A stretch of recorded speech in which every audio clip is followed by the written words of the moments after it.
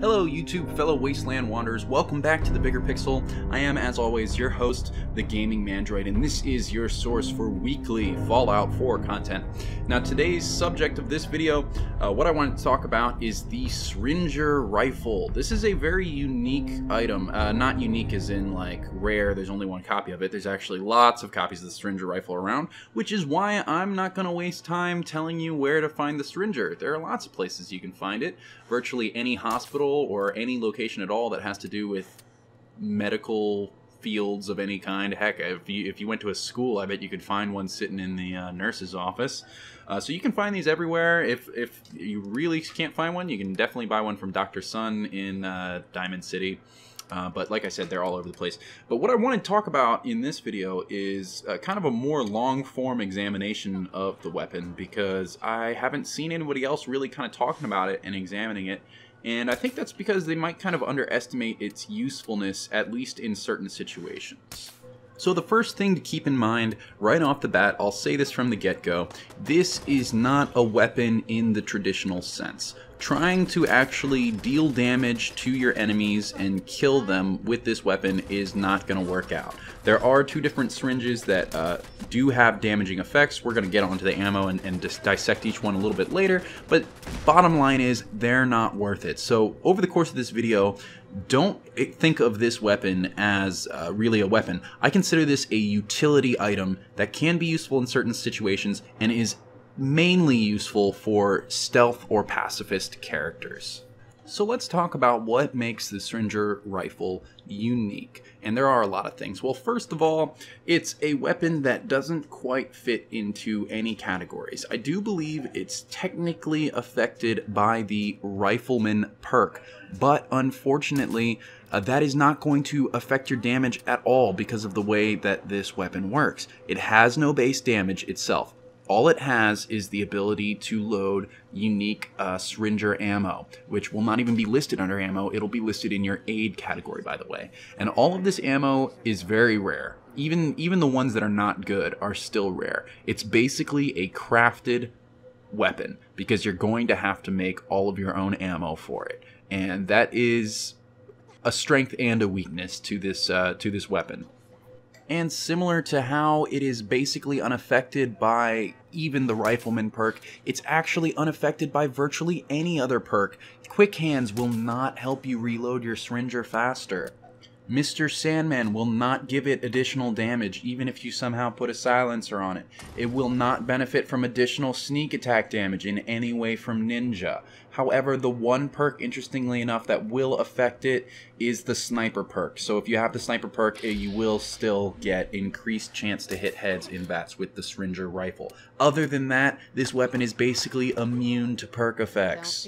So at this point, you're probably thinking to yourself, well, Mandroid, why would I want to use this Syringer? What is its purpose? What are the advantages of it? Well, to put it in a nutshell, basically the Syringer is the Fallout 4 equivalent of illusion magic in Skyrim. That's basically what it is, because as we look at some of the uh, effects of its ammo that we're going to look at right now, uh, you will see that the ones that are really the most useful are basically the same as old school illusion spells.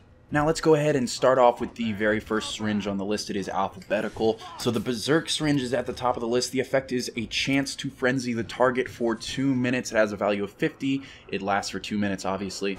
And uh, let's look at its recipe requirements. It has an antifreeze bottle, a bourbon, a dirty water, and a steel. Now, obviously, dirty water and steel, very easy. Bourbon, a little bit harder. Antifreeze bottles are a rare ingredient. It's very rare in general that any crafted item calls for a specific uh, named item rather than a component of some of many different items.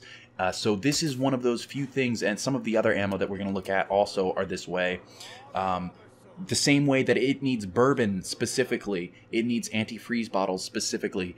And antifreeze bottles are rather rare. They are not easy to find, and you will discover this. So, overall, this syringe is difficult to create. And even worse, it is not just difficult to create, it is difficult to use. Now, the Berserk syringe here has one of the best effects of any of these syringes. It is essentially a shortcut to using the high level, the second tier Intimidation perk or Wasteland Whisperer perk, where you can temporarily um, ally uh, someone to you, or at least uh, they, they, technically do not become your allies, but you can temporarily have them attack someone on your behalf as long as you kind of stay back and they can focus on on you, your mutual enemies now, and that is a powerful effect. It is debatably the mo the most powerful effect out of any of these Syringer ammos. Unfortunately, it has been powerfully gimped by a level requirement on the Berserker Syringe. Um, and this is the only syringe that appears to have a level requirement as far as who it's going to affect. And now, I struggled a lot to find clear information about this online. It seems that uh, no one is quite 100% on how this syringe works. Um, I've heard some people say that it will work on enemy any enemies under the level 20. I've heard other people say that it scales with you. I disagree. We did a little bit of testing ourselves here at the Bigger Pixel, and we do have some examples that should be playing hopefully right about now as I'm saying this of even just a level 14 enemy being considered too powerful for the Berserker syringe. So unfortunately, as cool and fun as this syringe is, and I do recommend you use it when you can at lower levels, it's just not going to have any staying power. And by the time you are a higher level, this syringe is going to be essentially worthless. But if you are a lower level and you're using it, it is useful. I do recommend you save some antifreeze bottles for it and collect bourbons just to make this. If nothing else, it is also an ingredient in the Fury drug, so that's a good reason to craft Berserk syringes.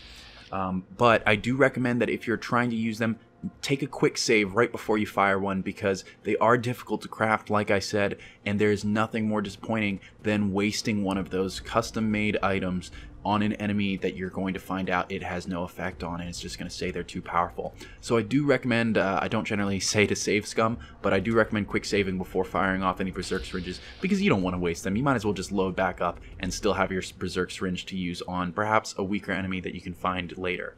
So let's look at the next syringe, the Bleed Out syringe. It says it does 30 points of damage over 10 seconds to target. Its value is 17. It only lasts for 10 seconds. And its components to make it are very, very easy to find. One fiberglass, one oil, and one steel. You can probably make a ton of these Bleed Out syringes pretty conveniently. And that's the whole point. This is, uh, the way that they're basically portraying this is that this is the baseline damage syringe um, for the syringer. Unfortunately, this is worthless. Guys, don't waste your time. Don't carry around these bleed out syringes. 30 points of damage as a flat damage. It's not like your weapon where that's the base damage and then you take perks and then it does more damage or it can be affected by psycho or this or that. No, none of this, nothing you do will increase that 30 damage. And 30 damage is not a lot. It's not even enough to outright kill a level 1 enemy. So this syringe is essentially worthless, especially since it takes 10 seconds to get your 30 points of damage. Almost any gun, even at level 1, a 10 millimeter pistol is probably going to be doing like 20 something damage from just a single shot that's instantaneous, not over 10 seconds. So this is worthless. Like I said, do not waste your time trying to use the syringer as a damaging weapon. It is a utility item, and this is not one of the syringes that is useful. Alright, up next we have the Bloatfly Larva Syringe. Right here it says chance on death for target to spawn a bloatfly. Its value is 10 and it has no listed duration. I assume that that means that the effect is essentially permanent on the enemy that uh, or just the target that you have shot it on. Uh, that it's essentially going to last until it dies and at that point it's going to check the chance so-called of a bloatfly spawning. I do not actually know if there have been any cases in which the bloatfly does not spawn. Every time I have used it, it has spawned a bloatfly. But the ingredients here to craft one are a bloatfly gland, a single piece of glass, and one psycho. Now, the glands are pretty easy to find as long as you find some bloatflies. That's not hard. Psycho is probably the most expensive and difficult ingredient to uh, use here. So this is uh, kind of middle line on uh, the, the bottom line cost of crafting one of these syringes. Now, as far as how useful this syringe is, my opinion is that it is worthless. Um, I don't think there's any point to this. It deals no damage whatsoever when you shoot a thing, and then uh, once you do kill the enemy, it's actually spawning a new enemy for you. Now, in like certain situations with a crowded room, perhaps a bloatfly pops out of the corpse of one guy and now he's fighting and distracting your other enemies. That could be useful in certain situations. Overall, I think as far as combat goes, this syringe is not worth your time, guys. It's a waste of time, it's pointless. The one thing about it that I do think is interesting is that I have seen it does have a chance. Uh, I'm not sure what affects its chance. I'm not sure if you have to be a high level for this to start happening, but it does have a chance to spawn legendary bloatflies and legendary enemies drop legendary items. So I think the one possible use of this syringe may be actually for farming legendary items. Surprising as that is, isn't it surprising what you can do with a syringer rifle? It is a utility item unlike any other. So let's move on. Next we have the Endangerol Syringe. The effect is that it reduces the target's damage resistance by 25% for 2 minutes. It has a value of 60 caps. And let's look at the ingredients. It has 1 acid, 1 glass, 1 Med-X, and 1 pencil. So none of these ingredients are particularly rare. The Med-X is the, probably the most valuable one, although pencils are probably going to be a little bit harder to find. Probably the rarest ingredient there is the pencil. Uh, so this is, uh, again, a pretty middle line. You can probably make Endangerol syringes uh, pretty easily and get a good stack of them. But the question is, do you want to make a bunch of Endangerol syringes? I would say no. Maybe carrying just a couple of these, sorry, yet again, I don't think this syringe is really worth it, but maybe carrying a couple of them would be worth it for very tough enemies that are higher level than you. Getting 25% damage resistance uh, reducing their damage resistance by 25% could be useful if we're talking about basically a boss or legendary enemy that has a lot of health. If it's uh, a lower or level enemy than you, or even just the same level enemy than you, then I don't see how it's even worth the time to switch to your syringer, load an Endangerol syringe, shoot them, then switch back to your actual damaging weapon. I don't see how that's worth it unless we're dealing with a very tough enemy. And even then, there are plenty of other ways that you can get similar effects. I mean, you could just take some Psycho and boost your damage by 25%. That's a very similar effect to reducing their damage resistance by 25%. So this, I would say, is still not a very useful syringe, but stick with me, we're getting to the good ones now. So up next is the lock joint syringe. It has a chance to paralyze the target for 10 seconds. It has a value of 40 Again, duration 10 seconds, and let's look at the ingredients to make it. It takes one dirty water, one lead, which you could be getting from those pencils, by the way, one steel, one stingwing barb, and two tar berries. Now, looking at the rarity of these ingredients, um, this is going to be one of the most difficult syringes to craft. Tar berries are not that common, and as far as I know, I don't believe you can grow them in your settlement either, unfortunately. So you have to harvest tar berries. Stingwing barbs also are drops drops from, of course, the stingwings from the mosquitoes and whatnot. So you're going to have to go out and find wherever a place where there's a lot of those and hunt them, and even then they may not drop the barbs. So this is uh, one of the tougher ones to craft, but that makes sense because this is by far the best syringe on this list, the best syringe available, at least as far as combat goes. This is the one syringe that truly can be carried into a major firefight against a major enemy, and this syringe still has a wonderful usefulness. Um, unlike that Berserk syringe, shockingly enough, there does not seem to be a level cap on the effectiveness of this paralyzing lock joint syringe. Now, we did run into one uh, character during playtesting, uh, Tessa, that was just immune to this somehow. I don't understand why. I don't believe it was actually related to her level, although her level was very high. Um, our first theory was that it had to do with power armor, but I, that did not hold up either. but in general, this is not going to check any requirements at all to see whether it works. It's just going to work for you. Stuff is just going to freeze and fall over, sometimes falling to their death if they're in the right place, which is very funny.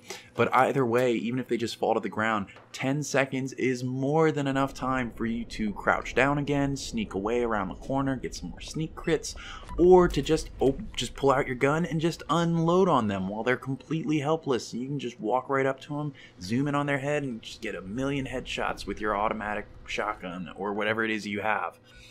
So, final judgment on the lock joint syringe definitely worth it. Craft these things as soon as you can and carry them around. This this syringe alone makes carrying the syringer worthwhile. Now next we have the Mind Cloud Syringe. Now let's look at its effect. Target The target believes you have vanished and has a reduced chance to detect you for 30 seconds. Now for some reason this has the highest value out of any of them at 73 and like I said duration of 30 seconds. Let's look at the ingredients. One Abraxo cleaner that is kind of rare two asbestos, one glass, and one purified water. Overall, this is pretty easy to craft. The Abraxo cleaners are a little bit rare, but they're not going to cause too much of a headache for us. So let's think about how useful is this? Well, clearly it's only useful for a stealth character. Now, there's a lot of different kinds of stealth characters out there, so I'm not going to go ahead and say that this syringe is worthless. It's not worthless. It could definitely be used, and it's definitely useful for a pacifist character. But the effect only lasts for 30 seconds, and it's not it's not really going to get you through an area where your sneak level is just not high enough. So let's say you only have one perk into sneak and you're walking through a crowded room. You're going to need quite a few mind cloud syringes to actually make it through the whole room undetected because you have to hit each and every enemy that might see you with one and it's only going to last 30 seconds. So let's say you have to walk to one side of the room and then back to the entrance where you came it's going to take a lot of these syringes to get you through there completely undetected.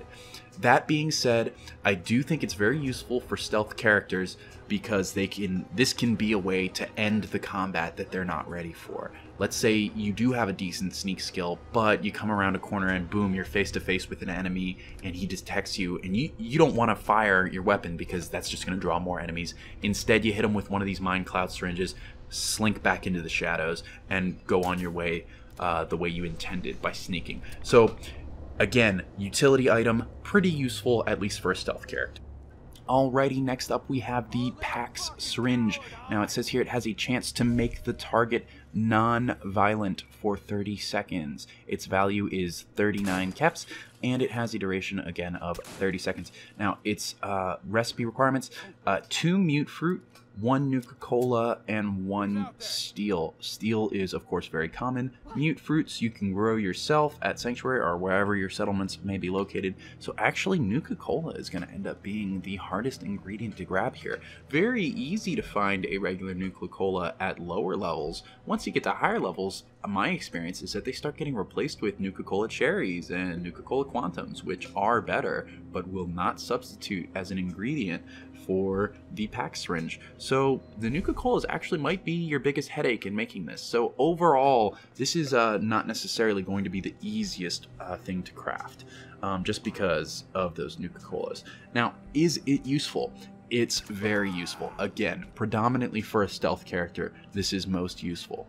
Now, it does basically work like a calm spell would in Skyrim, say. So, except for the fact that, unlike the Berserk Syringe, it has essentially no level cap on its effectiveness. So you can use this at low levels and you can use it at high levels, and it's perfect, perfect, perfect for stealth builds and pacifist builds. Okay? Now, the only downside of it is that, similar to calm spells in Skyrim, it does not actually remove the fact that the enemy has detected you. Now, it will be very easy for you to become stealthily undetected in that sense, right? Um, the moment they turn their backs, they leave combat, you can crouch down, you're pretty much hidden again immediately. So you could just calm them, have them turn their backs, sneak attack crit them, or however, whatever your approach to combat is. So it can solve problems for you in this sense, but what it doesn't reset, annoyingly enough, is whether you've been caught pickpocketing. I knew that that was my main hope for the calm effect uh, in Skyrim and in here as well, is that I could get caught pickpocketing, calm someone, and then try pickpocketing them again. Unfortunately, that's not how this works. So, other than that, it's still very useful, and I do believe that in some cases it might help you kind of get through uh, with NPCs that maybe have crucial dialogue, but you accidentally attacked them or something. You can pax them, get them calm, and then hopefully get through your dialogue in, in 30 seconds or less because that's all, all the time you've got. But i do believe that in certain situations it might solve problems that really nothing else in the game can solve for you. There is no other way to calm an enemy after they have started attacking you. So this can definitely be useful and it can be applied in a lot of different ways. Now next up we have the Radscorpion Venom Syringe. It does 40 points of damage over 10 seconds to a target. Its value is 65. That is a 10 second duration once again. So let's look at its ingredients. Glass times 1, steel times 1, both very easy, and a Radscorpion Stinger times 1 definitely much rarer. You're going to have to hunt. You're going to have to harvest. You're going to have to get a couple of stacks of these before you can make one of these uh, syringes. But why should you make this syringe? You shouldn't. It only deals 40 points of damage. This is supposed to be the upgraded, uh, better damaging syringe over the bleed out syringe. And guess what? It's a joke. It's laughable. 10, 10, more points of damage over 10 seconds does not change anything. It's still not enough to one shot a level 1 enemy. So, my advice don't waste your time with this syringe. It's not worth it. Do not treat the syringer like it is a true weapon because it's not. It's a utility item. And lastly, we are looking at the Yellow Belly Syringe. Its effect is a chance on hit to cause the target to flee for 30 seconds. Now its value is 55, again duration 30 seconds. Let's look at its ingredients. It takes one antifreeze bottle one fertilizer one glass and two steel. Now the fertilizer is a little bit more valuable but overall uh, those last three ingredients are very easy. But we're dealing with the antifreeze bottle again similar to the berserk syringe. These are rare. They're hard to find. Considering the level cap that is on the Berserk syringe that is not present here with the Yellow Belly syringe, I would say you're better off using your antifreeze bottles for the Yellow Belly syringe. But there are some other things you can use them for, like berry mentats, or maybe you want to make the Berserk syringe so that you can make the Fury drug. Either way. But this Yellow Belly syringe is pretty good. Again, like most of the other syringes, except for the Berserk syringe, it does not have a level cap on it. So this can be, even into high levels, a combat solution to you. If you have something way over your level and it's coming right in your face uh, to attack you, all you have to do is hit it with a yellow belly syringe and you've bought 30 seconds, especially if you're a stealth character. That's more than enough time for you to crouch down, get behind cover, and knock out some more sneak attack crits. They turn around, they see you again. Hopefully, you've got another one of these syringes, or maybe you've got a lock joint syringe or a Pax syringe. Many of these effects can essentially be applied in similar ways in combat to just immediately distract and stop your opponent from focusing on you, whether it's because they're paralyzed, because they're fleeing, because they just don't realize combat is going on, or because they are now busy attacking somebody else. These are the effects that are actually useful. So, just to summarize everything, look over the list and say what's worth it and what's not. Here's what's worth it on the Syringer. Early game, Berserk Syringe, worth it. Later game, throughout early and late levels, the Lock Joint, Mind Cloud, Pax, and Yellow Belly Syringes are all very useful, especially to stealth characters. Pretty much everything else on this list, all these other syringes, I'm just going to advise you, they're not really worth it unless you're looking for a very specific effect for a very specific reason, I don't see why you would bother crafting these.